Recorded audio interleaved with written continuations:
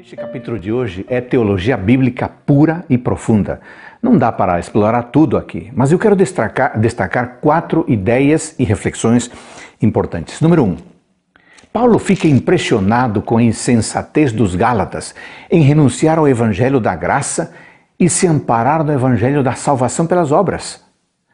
Nós devemos fugir a todo custo de uma religião baseada em nossos méritos para obter salvação. Número 2. Paulo havia sido portador de uma mensagem e de um ensino claros, sólidos, do Cristo crucificado. Mas mesmo assim, os Gálatas estavam se apartando desses ensinos. Isso mostra que não basta conhecer e mesmo ter conteúdo profundo. É necessário submeter a nossa vida ao nosso Senhor Jesus Cristo. Número 3. A salvação é uma graça e ela é imputada a nós. A fé demonstrada por Abraão foi creditada em sua conta, lá no céu, digamos, quitando a sua dívida. E Deus o considerou justo. As obras não tiveram qualquer relação com o fato de ter alcançado esse crédito favorável nos livros do céu. Deus simplesmente lhe ofereceu e ele aceitou pela fé, confiando no cumprimento da promessa de Deus.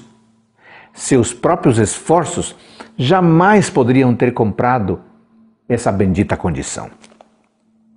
Número 4. Diante de Cristo não há favorecimentos. No reino de Cristo, todos são cobertos pela mesma roupa da justiça de Cristo, recebida pela fé em Jesus Cristo. Homens e mulheres, judeus e não judeus, basta aceitar e viver pela fé. Número 5.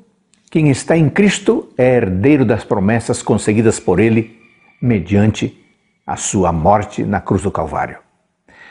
Viver em Cristo significa viver à luz de seus ensinamentos e, pela fé, entender e reproduzir em nossa vida aquilo que ele nos deixou aqui em Sua palavra. Entretanto, o que vivemos ou o modo como vivemos não tem mérito salvífico, pois o que nos salva é a graça de Deus. Que o Senhor abençoe você e a sua família no dia de hoje.